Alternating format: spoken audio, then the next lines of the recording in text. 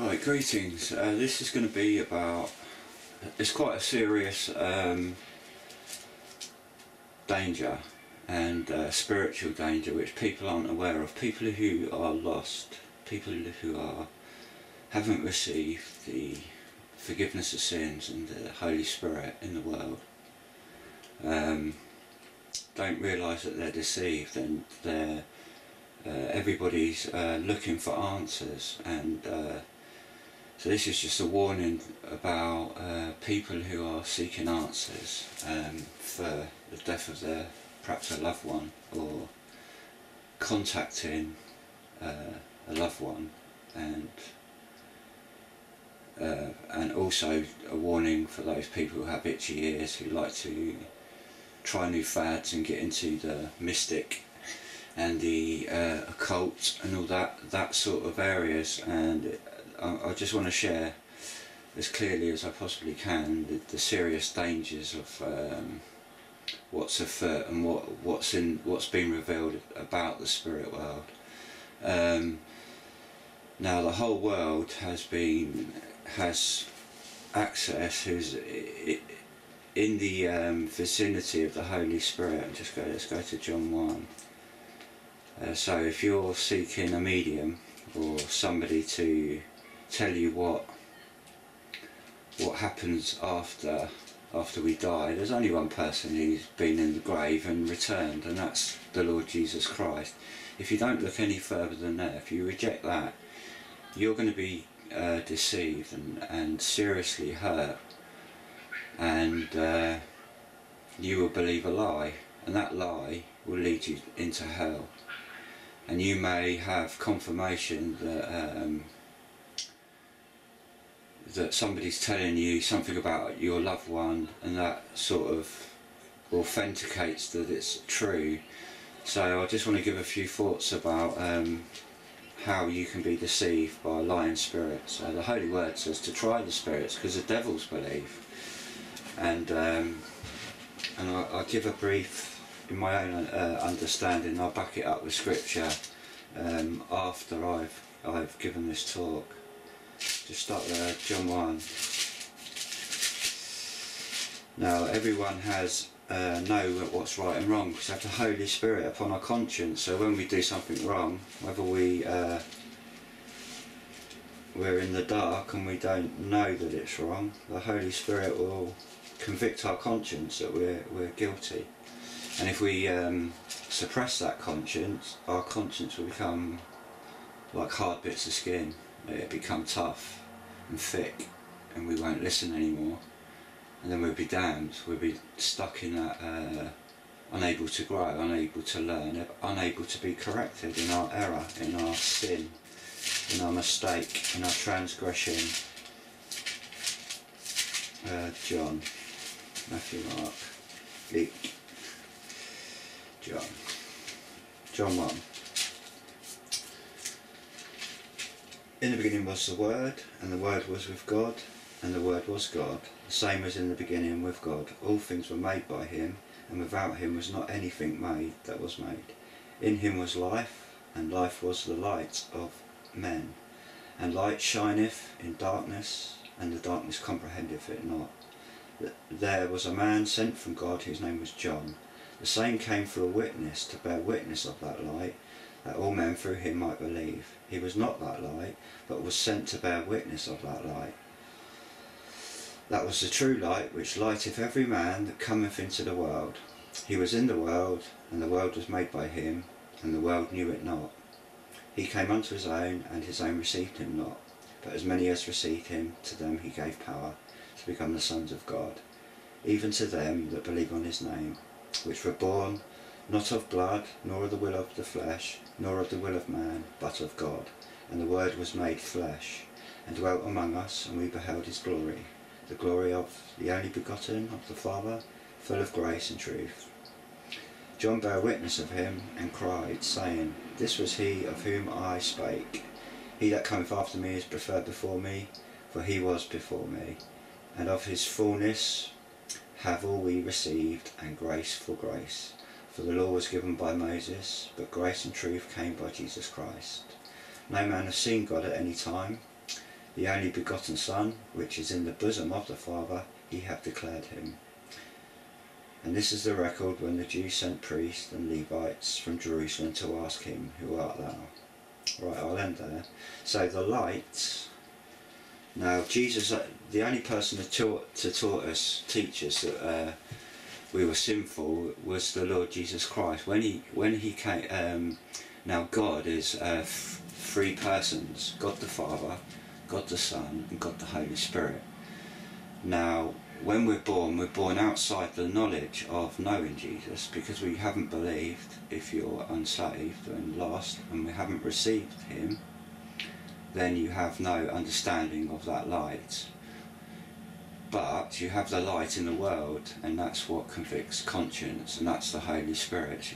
We have God is God the Father, God the Son, who's the Word, who became flesh and dwelt among us, as the Scripture testifies, and John bear witness. John was a very special witness and a prophet, like um, like in the Old uh, Testament, had prophets. God called prophets to speak His word. So John was a very special vessel of that dispensation of time when Jesus Christ was about to be born in the flesh. So God, Jesus was fully God and fully man on the earth and he died for the sins of the world. And he revealed by that light, by his light, by being in the world and that light in the world, and John as a witness and the Holy Spirit as a witness, testifying that he was God.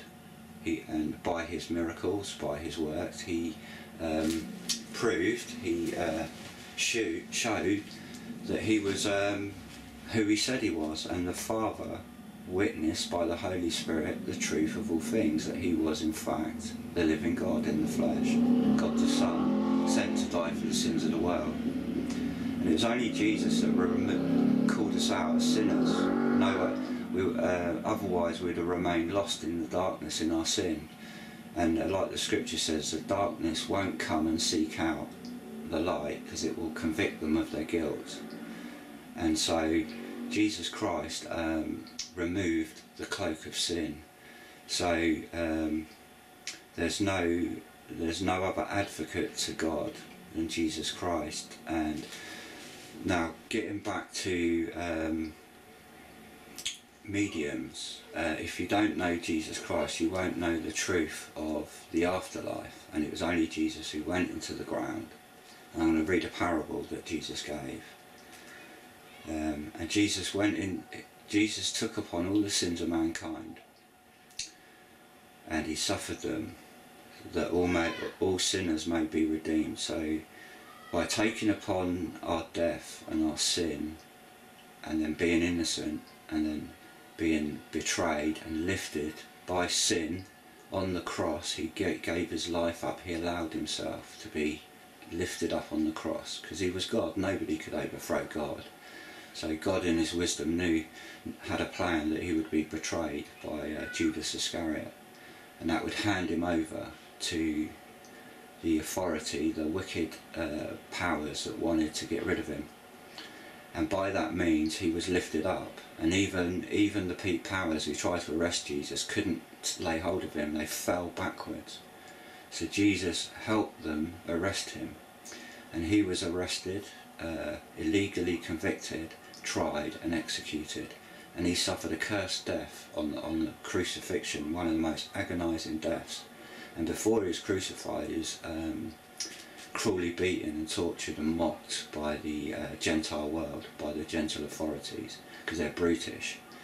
And he suffered an awful death, and he, he, he took that in love. He took that willingly. He never complained, and he suffered though all the sins of them of the world, and he, he went down into the in, in the grave. Now I'm going to read a parable where Jesus shows what is in the grave. He's he by his omnipotence and by his uh, knowledge, complete knowledge, he's revealing in a parable before he uh, was crucified what where he was going. And uh, that starts in uh, Luke 16. Um, let me find the parable. Uh, I'm sure it's Luke 16. yeah, uh, it gives a parable of the rich man. Right. Um,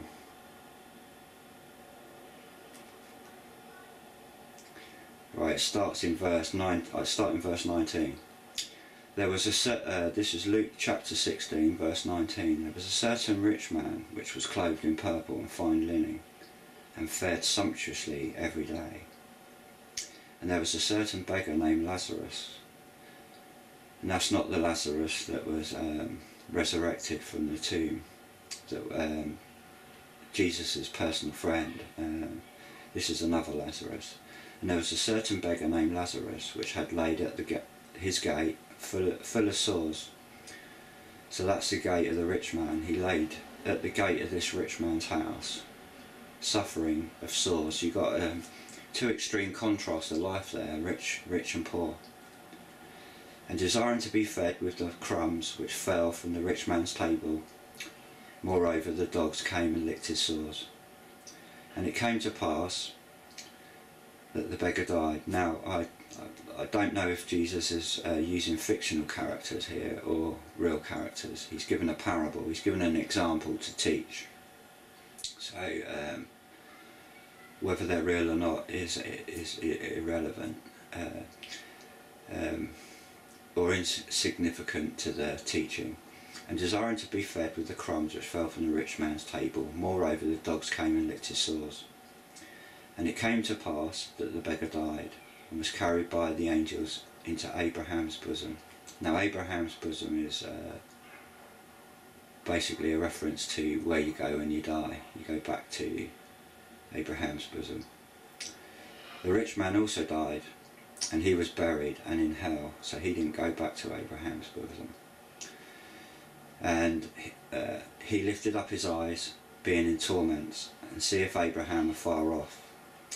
So Jesus has just shown. Now this is probably the only place in Scripture where it shows what is in. in um, there's also in um, when. Uh, King Saul went to see a, a soothsayer, a peeper, a wizard, or somebody, a diviner, a spirit, somebody who contacted the spirit world and uh, had power with with with with these forces, with these evil spirits, and called up the prophet Nathan against his will to give counsel to King Saul. So we have a an insight into that's the righteous side, that's the half of the division that uh, this is referring to in this parable, and then the other half is, is, is a wicked people.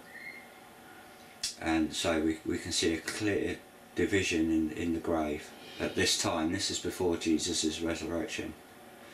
And in hell he lift up his eyes, being in torment, and see if Abraham afar off, and Lazarus in his bosom. So La Lazarus is with Abraham, the righteous, and he cried and said, Father Abraham, have mercy on me, and send Lazarus. Now bearing in mind that was the beggar out, outside his house all you know for years and years and years. You know, send Lazarus, the servant, to come and minister to my wicked torment. But Abraham said, Son, remember that thou in thy lifetime receivest thy good, good things, and likewise Lazarus evil things. But now he is comforted, and thou art tormented. And beside all this, between us and you, there is a great gulf fixed. Right, so it's a very important lesson. When this life is a probation, that all may come to repentance towards God and faith in Jesus Christ for the forgiveness of sins and the free gift of eternal life. There's no other way to salvation. And it's in God's plan that once you die, there's a veil where your your time's over and you're not allowed to look into these things. The Lord has put a, a lid on it.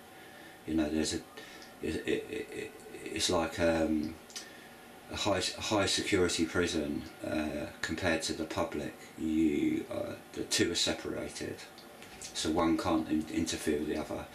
So when when we lose a loved one, there's a veil, and there's a reason for that veil because of faith, uh, and uh, to come to the knowledge of um, salvation, faith is required to apply uh, apply that to to Jesus Christ for salvation, and even then you still cannot once you leave this life it's separate from from the heaven uh, the spiritual heavenly places where the righteous dead are in Christ Jesus in heaven.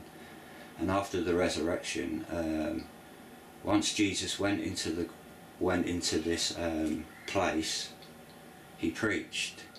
And all the righteous in Abraham's bosom he brought up with him and all the wicked remained, and that's hell, that's, that's the lake of fire, or that's where those who were condemned to the lake of fire remain waiting for the resurrection, for their eternal judgment, whereas the righteous have already been judged and they've been forgiven. So they go immediately up to heaven. So today, if you die, if your loved ones die, they're either in heaven or they're in hell. And that's the sim simple plan of um, Jesus Christ.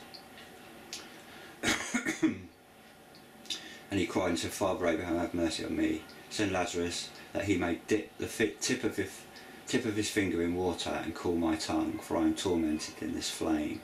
But Abraham, Abraham said, Son, remember that thou in thy lifetime receivest the good things, and likewise Lazarus evil things. But now he is comforted and thou art tormented. And besides all this, between us and you there is a great gulf fixed. So the two couldn't mix, they're separate. God has put a barrier between uh, uh, the, the living, the righteous and the wicked, and also the living and the dead. It, the only You cannot commune with those who've lived this life and died. The only advocate you got with heaven is Jesus Christ and you can't communicate with your loved ones through Jesus Christ. It, that it's is a veil, it, and there's a reason for that veil because it to, today is our probation of faith to either come to salvation by believing or not, which condemns us, which we remain condemned. Uh, if you read John chapter three, all those who believed have have been taken out of condemnation. All those who remain in unbelief are still under that condemnation in their probation. And so when people are seeking answers to, well, what's life about? Where's my dead? Where's my loved ones gone? And they're seeking comfort. The only comfort and assurance that person can uh, lawfully receive in, in God's law is through Jesus Christ. And they still may not know whether their loved ones are in hell or in heaven and that that that's something that a believer has to trust because you know um, you can't interfere with other people's choices. So you have to choose for yourself in this life whether you want to believe and go to Abraham's bosom or go to the bosom of God who's in heaven on the right hand of God who is Jesus Christ. And so you don't you don't pray to Abraham you pray you pray to God the Father you pray you pray with faith in the Lord Jesus Christ for the forgiveness of sins and then you're redeemed and taken into that heavenly place spiritually while you remain on the earth. So when you die you have that spiritual life within you so you go where that spiritual life is offered from. If you don't have that spiritual life in you that spirit God's Holy Spirit which is a gift uh, uh, given as soon as the Lord Jesus is uh, sincerely believed then you, you remain lost and you go into the grave. Now, the scriptures speaks of many, many uh, fallen hosts from heaven. We have demons, familiar spirits. Now, I'm not an expert, I'm a student of the word, but I can, I've had experience in these mediums and demonic forces, familiar spirits and, and the like and I'll give a brief definition. I may be wrong here, so you'll have to not trust my word, but study the Holy Word in the King James Bible to learn and grow in your understanding of, of these things, these spiritual things. Now it's in my understanding a fallen angel is not different to a demon and a familiar spirit. And fallen angels are banished and chained demons, I believe, I think there's different opinions on what demons are, are once in the Old Testament, angels left their heavenly realm, came down to earth and bred with, with women, with human women, and they produced vile um, demonic hybrids, half human, half fallen angel, and these were called the, the Nephilim, the Nephilim. And uh, when when those um, creatures died, they their disembodied spirits were become demons. So there's a whole host of demons. Now that I may be incorrect on that. Familiar spirits are are different, and they are a host of uh, spiritual beings that serve Satan, that serve the fallen angel Satan, who became the devil. So, so uh, the devil is a an angel, a powerful angel, and uh, he fell from heaven and was banished, and he, he absolutely hates God, and he's against God and all all things that are good, and he wants to deceive the world to stop them from being saved and uh, being he wants to win them in his dominion and his dominion will be hell. And hell wasn't built for the human race it was built for these powerful angelic creatures. That's why there's a division. There's a division between the spiritual realm and the physical realm that we experience and there's a reason for that. But God has put them in close proximity to the devil's here to try us, to test us. And so there's an adversity to that which is good. So you got the you got the, the the opposition, the two poles fighting one another.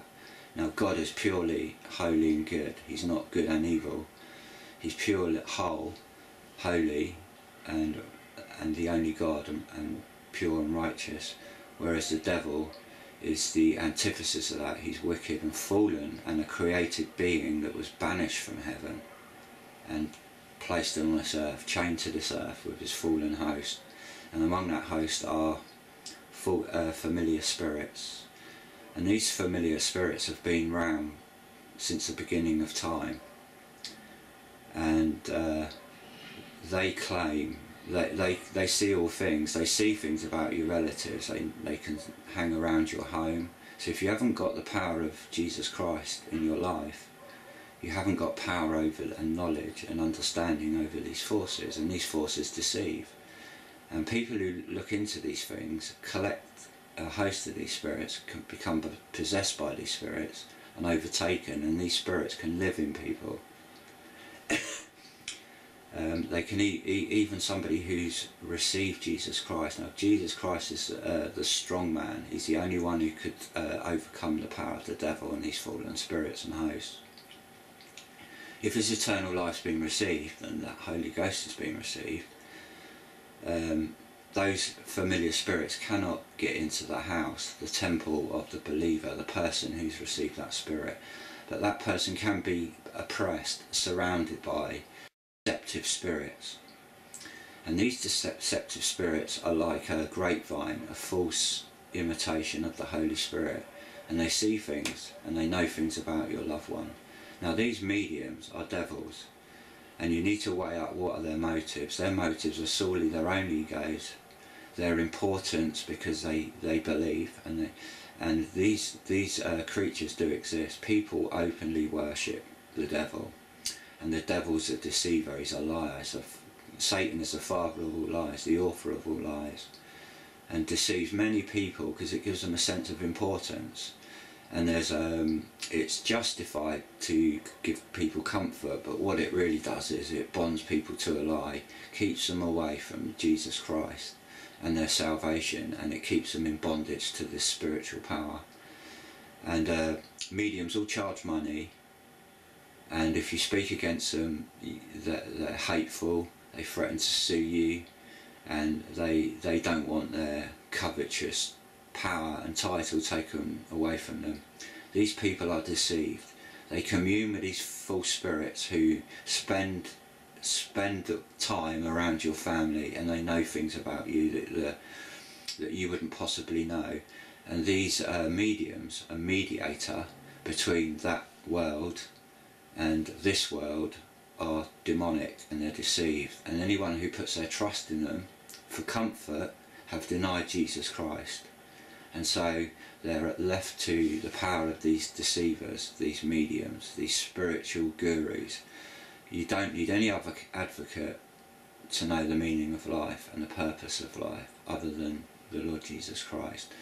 So this is a warning to anyone who's into all this mysticism, peeping, peeping wizards, looking into this the dark realms, tarot, um, uh, you know, contacting the dead, fortune tellers, tea leaf readers, all, all sorcerers, all these things that are abomination to God. They are wicked, and they're all through the Old Testament, and how every righteous uh, servant of God, every righteous king, every righteous prophet, um, come up against this, creeping into the body of, of the people, into the society of Israel and uh, it just led them astray into uh, child sacrifice, worshipping false spirits. And these spirits manifest in so many different ways that they, it's just so confusing. There's so many different versions, and uh, and there's also cranks of that are just you know that don't have uh, contact with uh, evil spirits, but they are cranks. But there's some real genuine people who do these spirits and can give you truth they don't give you 100% truth. And so they can give you some truth, but they're hiding behind their back the, the complete truth and they've deceived these mediums.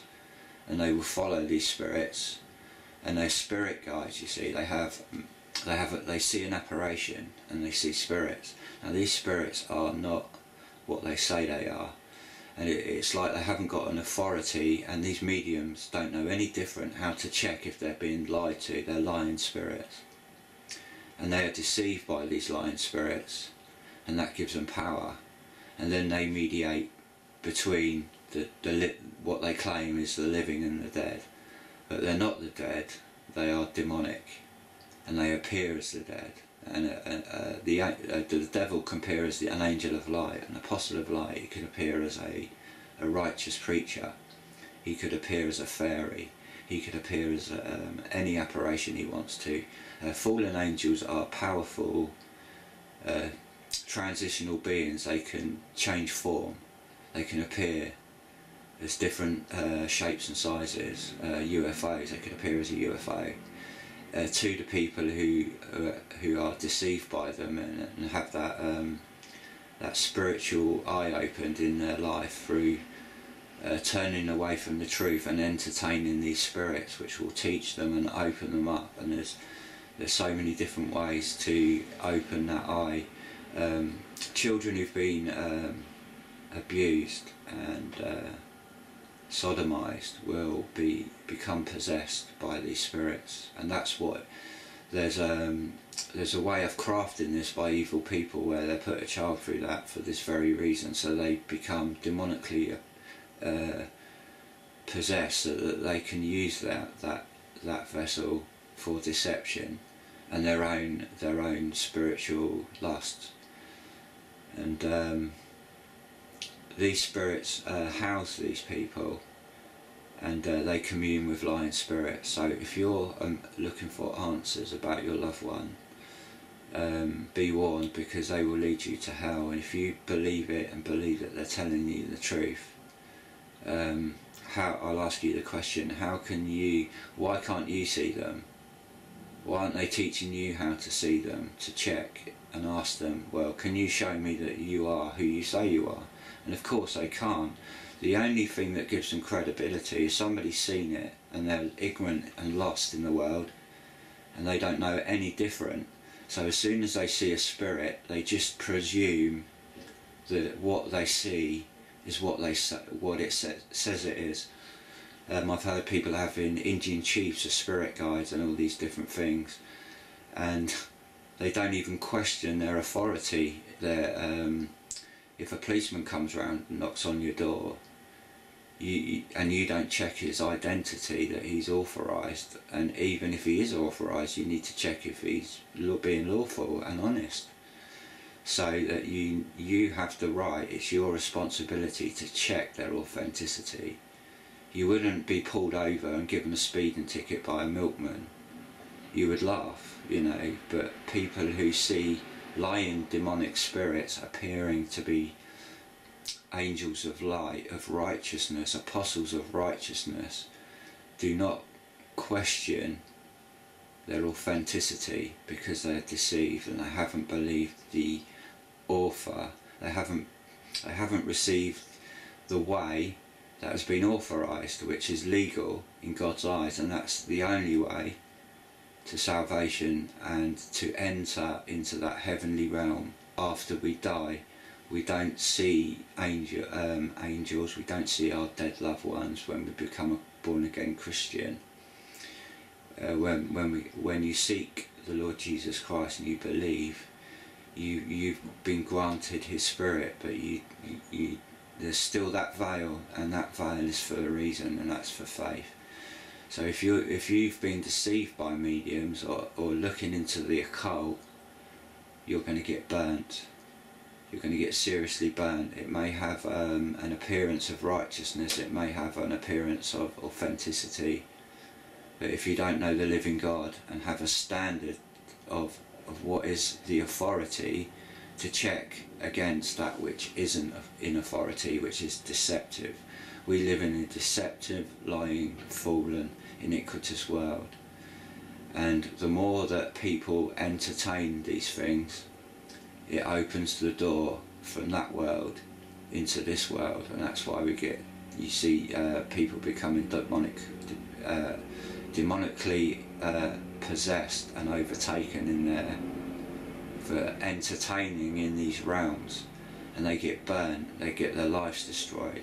And if you read the Holy Scriptures, you'll see Jesus dealing with all types of these these um, spiritual beings, uh, demons, familiar spirits, casting out demons out of people's lives, and all all all, all the all the darkness of this world. And He's revealed through the what is beyond that veil and what's um, authorized in in his in his way, in his righteousness, in his law, in his purpose.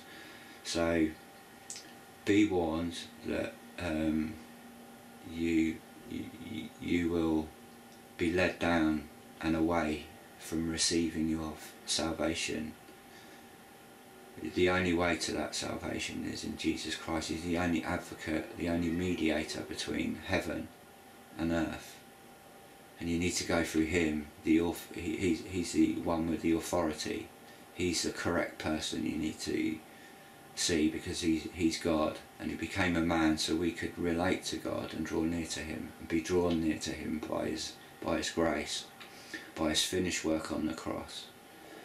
Now, you seek that with all your heart, God, God will answer you and you will know for yourself and he will teach you these things. But if you reject that, you'll remain lost and believing a lie and that will lead you down to hell.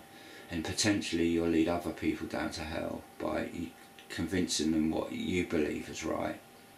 Because the devils believe and there's so many versions of so many different answers to what the purpose of life is the purpose of life has been revealed in Jesus Christ and the Holy Scriptures, which is a faithful record preserved for people. It's not for unbelievers, it's for believers who've received Jesus Christ and the Holy Spirit. And through his death, burial and resurrection, his baptism into the, into the grave, and his resurrection unto life, because he was the eternal life, and then, then his ascension back into heaven, that is the way into heaven. And if you believe him, he will take your, you through that operation. You'll go through that operation and he'll put that spirit, his, his spirit within your heart, in your life, while you're a sinner. And then you have an inheritance in heaven in Jesus Christ. If you reject that, and you're deceived and led away by all these different means, these alternatives, because that's what they are, they're counterfeit. And they're from the devil to oppose the Lord Jesus Christ and God because he wants to destroy you because he's been banished and he's a bit bitter and he's going to do everything to lead you, you and your family down to hell and he does that by lying spirits and these these foolish people who trust in these spirits without question. And they because they, they, believe them they see they think well that's true. It must be true because we're lost and we don't know any different.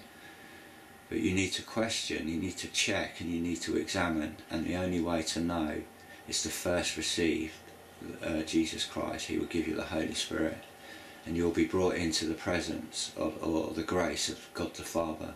No one has seen God but Jesus Christ. And he is um, on the right hand of God the Father. And he's promised that if you believe him he'll take you through that operation and he will take bring you into that spiritual kingdom. And that kingdom will be placed in your heart while you remain a sinner on earth. And you'll be saved when you die your flesh will disintegrate like all flesh it goes in back to dust because we're created from the dust and given the breath of life uh, as in from Adam and Eve, and then when Adam and Eve had in children, we are inherited, in, inherited from that creation, which is from the dust, which God created from the dirt. He changed all that carbon atom into a living form and breathed life into it, and you know gave it a living soul. And that's what we are. That's our components. We are from that inheritance but we're we don't have God's spiritual gift, His spiritual inheritance. That's why Jesus said you must be born again, born of the blood and water, which is our first birth when we're born by our mothers, and then the second birth to be born again is a spiritual birth through that operation Jesus completed on the cross, and that grants us the free gift of eternal life. And we won't know whether our loved ones are in heaven or in hell until the end, until the resurrection. And so it's important to trust God because He's He's the uh, He's the Father. It's His authority, and you don't any disobedience to His way to His Son. He's just to punish people, and those people who reject His Son, their punishment is eternal damnation, eternal torment in the lake of fire, and that is hell. And that's the danger of um, media medium. So I wanted to give a testimony and warning to anybody who's um, a, a medium or is putting their trust in me, uh, mediums and, and deceptive spirits. And I'd invite you to double check whether you, you're convinced. It doesn't hurt to re-evaluate what you've been told and have something alternative to compare it, to double check, to make sure you haven't been deceived. I can say you have been deceived because I've received the witness and the faithful report and the Holy Spirit like Jesus promised because he's faithful, he's true, he's the only word, he's the only way, he's the only God and Saviour sent from God the Father. He's finished his work and he's on the right hand of God interceding for all sinners, all that put their trust in him will will receive him the moment they believe and they will know and they won't need anyone to teach them what is error, what is counterfeit. If you, you think of uh, like um, commercial uh, sportswear and you've got you've got all the different brands and you've got the most popular brand that's exalted and everyone covets after this brand and then then you go down to the local market stalls or or all, all the places where which sell uh, counterfeit items. There's so many counterfeit versions. It's just like the gospel. There's thousands and thousands of counterfeits, but there's only one truth. There's only one way. There's only one word. There's only one faith, and there's only one baptism. There's only one God, and there's only one way to that God, and to that knowledge and certainty, and that's through Jesus Christ. And I'll close there in His name. Amen.